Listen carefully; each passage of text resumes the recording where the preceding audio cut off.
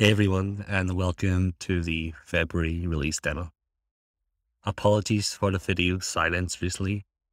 We've been snowed under with recruitment, building the world's most developer friendly low code platform, as well as welcoming over 16,000 new companies to, to Budibase. Today I've got four new features that I'm going to show you, plus a quick look at our new documentation and a swift gander at some of the new templates. First of all, we've released our new public API. The new API allows you um, access to a full API interface where you can perform um, CRUD operations on applications, rows, users, and much more. This also comes with uh, an Open API 3 specification that you can import directly into Postman and other platforms. So to summarize, the, the new Budibase API enables Budibase as a backend, extending apps and interoperability. We've also added further written documentation um, exploring how to find your API key, getting the OpenAPI specification, and using all of this with, with Postman. On top of that, we've also created a guide and an example around building a CRUD app with Budibase and Next.js. Um, and to accompany that, we've also added the example to our main GitHub repository. The next new feature that I would like to show you um, is the ability to add bindings to your automations. So as you can see here, we can now um, choose between using values and using bindings. And this is important as this will allow you to manipulate data using handlebars and JS within your automations.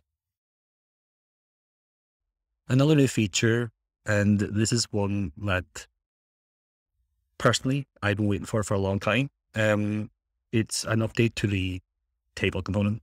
The table component is one of our most heavily used components. And if I'm quite honest, an update was long overdue. With this update, you uh, you have much more customization in regards to columns. Um, so as you can see here, um, I can open up the configure columns chart and we can customize the look and feel of each column um, by, for example, increasing the alignment. Um, I can here and possibly change the value. Color functions to that value. Um, as well as the background color. I think we'll go with a nice teal feels like a teal day. Um, a white background.